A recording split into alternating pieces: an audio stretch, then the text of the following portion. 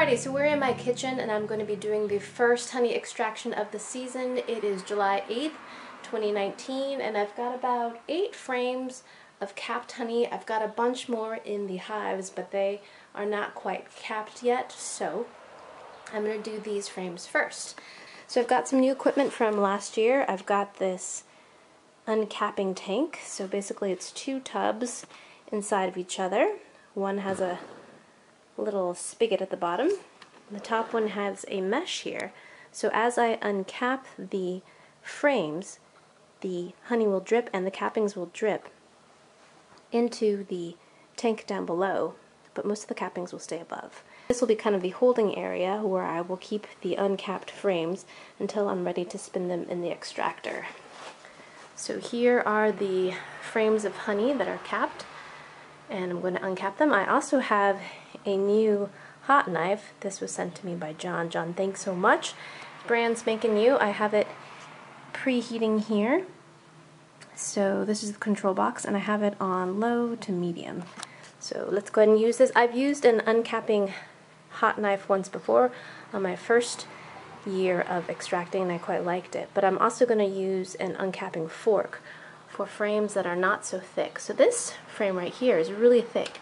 You can see how the honeycomb is built out. So that'll be really easy to cut with the uncapping knife. But this frame right here, as you can see, the honeycomb is not built out, this one too, very far. So there's not a lot for the uncapping knife to cut. So in that case, I'm going to be using the uncapping fork.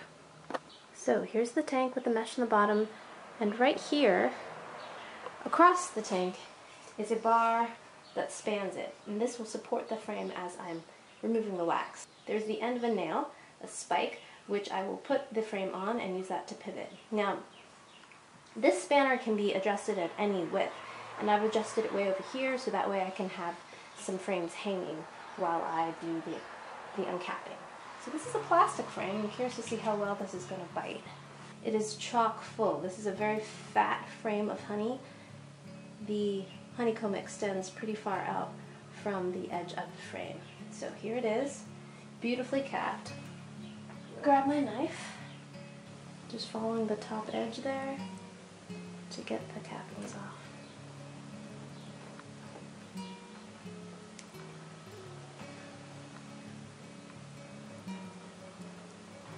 I've had the knife preheating for a few minutes.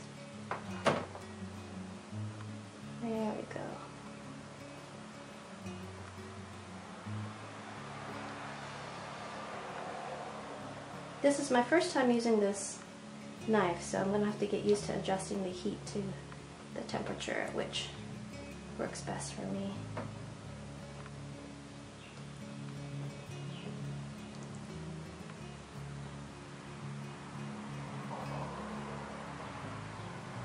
We don't want to use too much force, otherwise we'll rip all of the honeycomb beneath.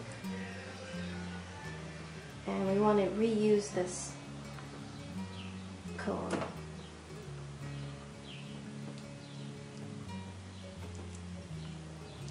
Oh, that's so beautiful and satisfying.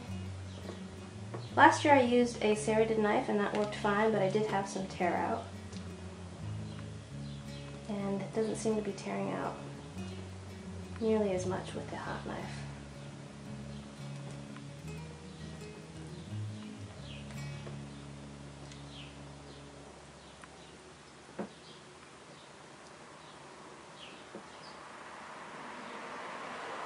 I'm going to pivot and get this side. Just slow, gentle pressure.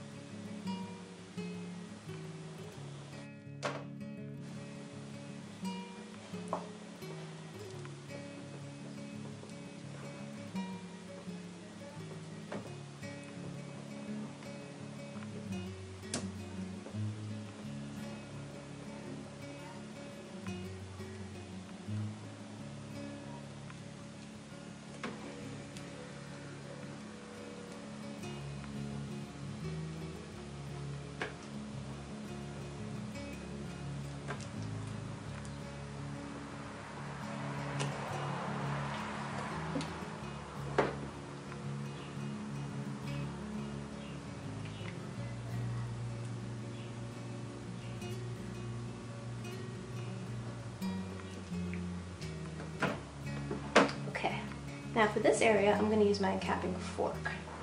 I'm going to just go over here and lift up. Go under the caps and just lift up. And that just removes that top layer of wax so the honey will come out. The bees seal the cells of honey for storage for later when there's no nectar, strictly in the wintertime. So seal it with wax on top to keep the honey fresh. But I need to open those caps to get to the honey. That is a beautiful frame. I'm just going to go right on down.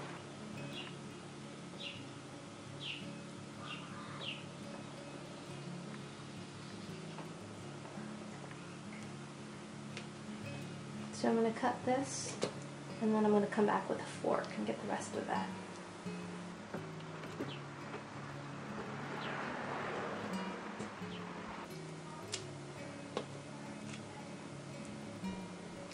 The fork actually works really nicely, like that. Pivot? I like that pivot. So this area right here has not been capped, but usually when the frame is 80% capped, you can still harvest it for honey. I'm going to try cutting upwards like this.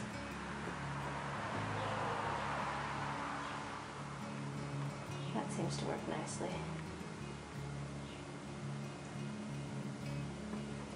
Look at that, it's beautiful.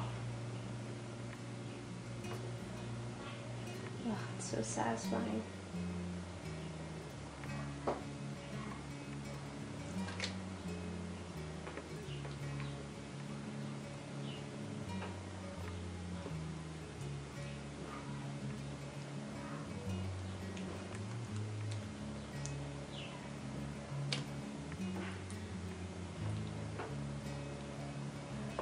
I have to say on this pivoting spike, the wooden frames definitely work better than the plastic. Plastic's a little too slippery. The wood bites nicely. Now while I've got my frames here, I'm just going to do a little bit of house cleaning and scrape off some of this burr comb around the frames. Can you see that? Yes. Isn't that beautiful? And then the honey starts to drip out. Beautiful. Isn't that satisfying? And then the honey goes through those cracks. That's right. And then you get finely sifted honey. Well, we're gonna um, put it through the extractor. How many flames have you did? I've done three. This is the fourth one. 4th Mm-hmm.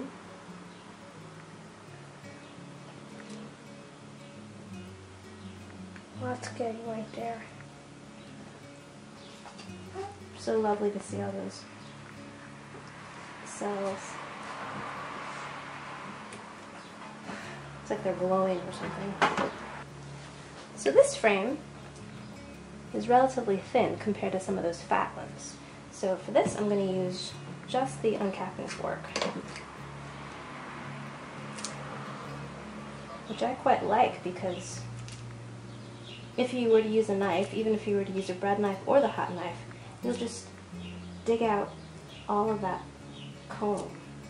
To go down to the foundation, it just kind of ruins it. So the uncapping fork is nice because it just takes the very top layer of wax off without ripping out the cells from the foundation. I know it's not as satisfying to watch, but I think the uncapping fork might do a better job of just removing the caps. Just the thinnest layer of wax comes off. This wax is beautiful, it's so white and clean.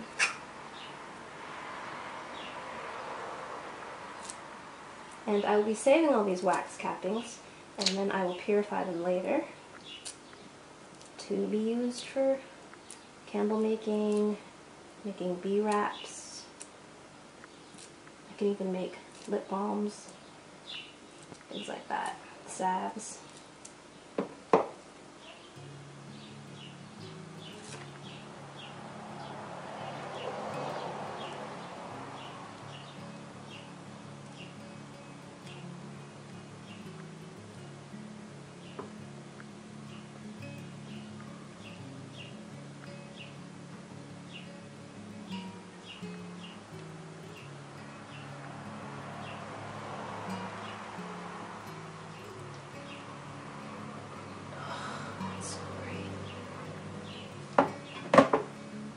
Beautiful is that? So with this configuration, with this bar pushed over to the side, I'm able to hold about eight frames. I could probably fit another nine. Of course, this one doesn't go in flushly, which is kind of a shame, but yeah. So I'm going to do the actual extraction in my extractor after dinner. So this is great. I can have this kind of dripping down into here, and the cappings, of course, are dripping down below into the tank. So yeah, nice kind of little temporary interim setup here.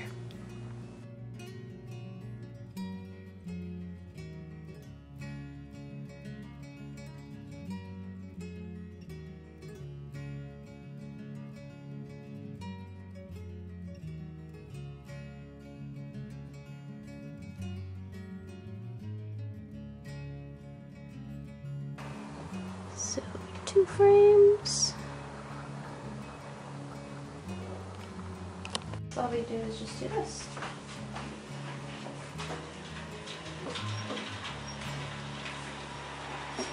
Oh, it smells so good.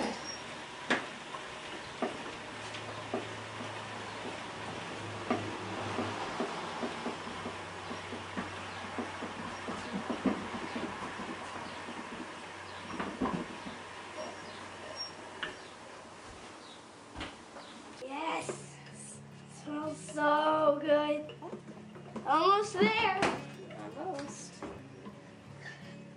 Okay, hang on a minute. It's dripping wait, in. Perfect. This is only a two basket. Get a four basket. Yeah, here we go. That's a good chug. Mm-hmm. And there's a huge blob at the bottom. Well, this last time I didn't filter it, but if you don't filter it, if there's little chunky. if there's little bits of comb, which I don't mind, um, Yeah. they act as a crystallizer, like a catalyst for crystallization. Uh, so your honey starts to crystallize a lot faster. I see.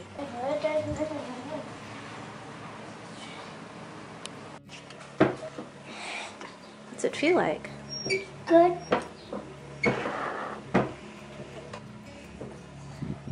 I feel some air. Yeah. How's it smell? Like honey. Does it smell nice? Yes.